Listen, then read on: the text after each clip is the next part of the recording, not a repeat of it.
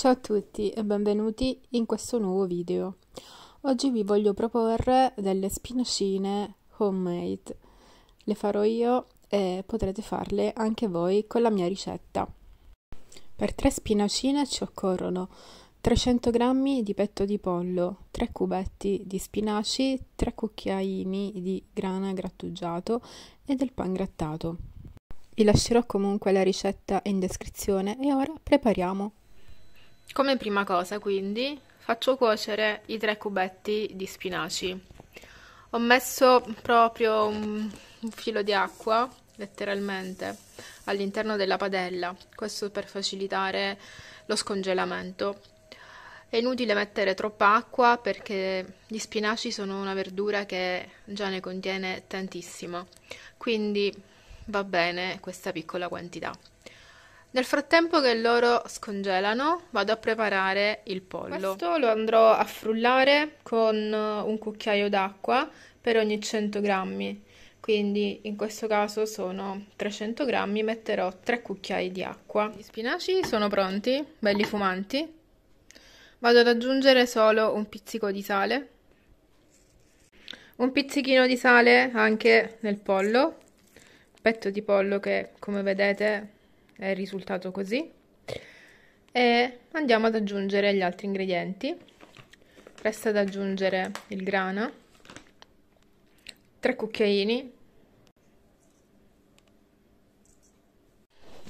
Inizio a mescolare.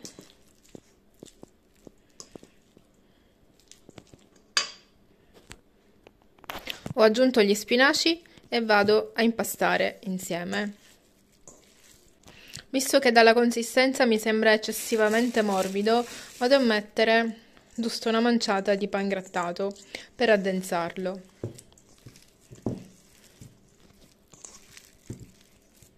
Adesso vado a formare le spinacine. Una volta ottenuta le spinacine, le andremo a passare nel pan grattato singolarmente. Prima da un lato e poi anche dall'altro. Cerchiamo di mettere il pan grattato anche lungo i bordi e le spinacine saranno pronte. Con le dosi che vi ho dato ne vengono tre, come vedete, di questa dimensione più o meno. Mi sembrano abbastanza simili alle originali, ma ovviamente se volete potete farle anche più piccole a mo' di polpette o di anche hamburger. Se volete friggerle, vi consiglio di panarle prima nella farina, poi nell'uovo e infine nel pan grattato. Io le farò molto leggere, quindi le metterò al forno solo con un filo d'olio. Eccoci qua per l'assaggio.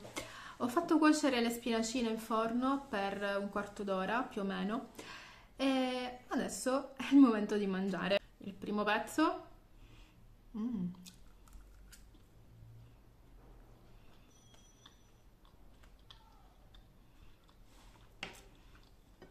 Buono, molto saporito, speziato e sicuramente più salutare delle spinacine preconfezionate.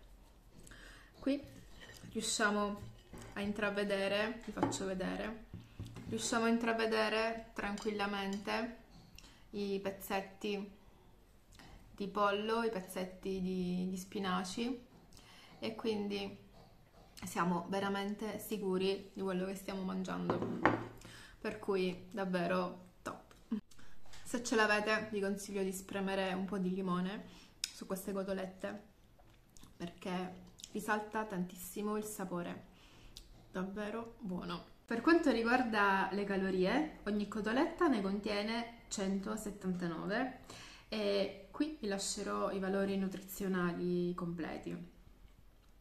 Invece per quanto riguarda i costi, per preparare queste tre cotolette ho speso 3,50 euro, quindi più o meno 1,20 euro a cotoletta. Probabilmente vi sembrerà dispendioso, però sicuramente sono degli ingredienti più sani rispetto alla roba già confezionata, per cui ne vale la pena sicuramente di spendere qualcosa in più. Per questo video è tutto, io spero che vi sia piaciuto, se è così lasciatemi un bel like e iscrivetevi al canale attivando la campanella per restare connessi con tutti i miei nuovi video. Vi mando un bacio e ci vediamo presto in un altro video ricetta o assaggio. Ciao!